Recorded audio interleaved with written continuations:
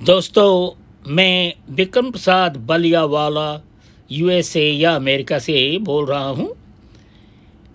हम लोग, आप जानते हैं कि हम लोग अपने एटीज़ में हैं और आज तक कभी भी ब्लडी रेड ऑरेंज कभी नहीं देखे थे।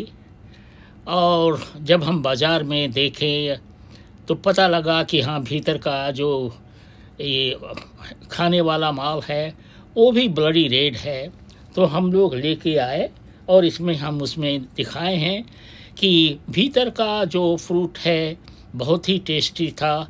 देखिए, बिल्कुल ब्लडी रेड है और मीठा है। ये नहीं है कि खट्टा है या तीखा है।